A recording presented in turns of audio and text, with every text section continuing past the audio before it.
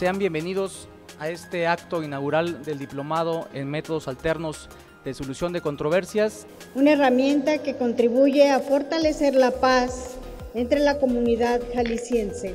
El día de hoy estamos iniciando uno de los compromisos más importantes, que es iniciar esta capacitación que el día de mañana nos va a permitir acreditar a este poder legislativo como un centro público de mediación. El hombre mismo, desde su naturaleza, ha negociado. Desde su naturaleza ha tratado de obtener a través no de los mecanismos establecidos, sino de la conciliación, de la mediación y de la interacción con sus pares para obtener beneficios o soluciones a conflictos existentes. Se cumplieron las 132 horas que pide la ley de justicia alternativa para poder certificarte como mediador.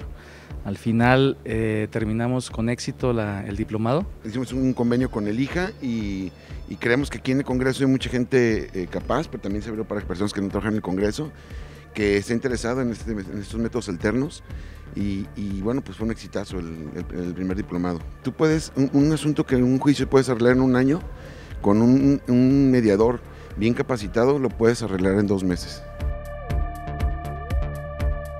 Hay que fomentar más la cultura de la paz, hay que hacérselo llegar a las personas. Creo que la ciudadanía en general no conoce todos los beneficios que tiene la justicia alternativa. Referente a la aceptación de la capacitación o actualización en justicia alternativa es muy satisfactoria, porque de hecho cuando se lanzó la convocatoria por medio del Congreso, este rebasó lo que se tenía planeado o lo que está reglamentado de acuerdo a la disposición legal de 35 alumnos.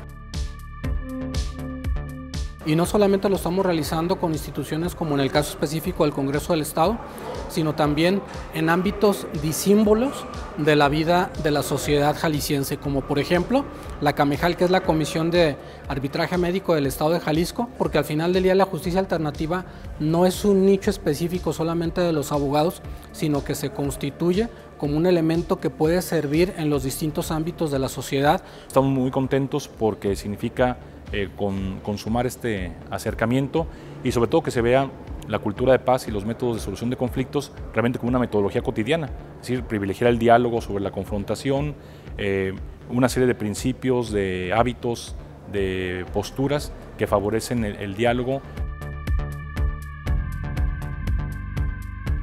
Hoy como profesionales del derecho, nuestro trabajo es mucho más importante que el de mediar y resolver los conflictos entre las partes.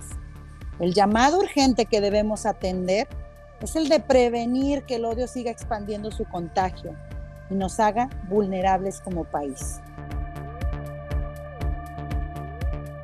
Nos dimos cuenta hacia dónde debemos avanzar, cómo debemos ver eh, lo que pasa en el mundo, ir cambiando esa forma de solucionar los conflictos, eh, tanto en lo personal, para después abarcar lo familiar, lo económico, lo político, por citar algunas áreas la educación es el arma más poderosa para cambiar al mundo, dijo Nelson Mandela. Y eh, es un gusto estar el día de hoy eh, cerrando esta etapa con personas tan comprometidas con las nuevas enseñanzas, con el nuevo paradigma.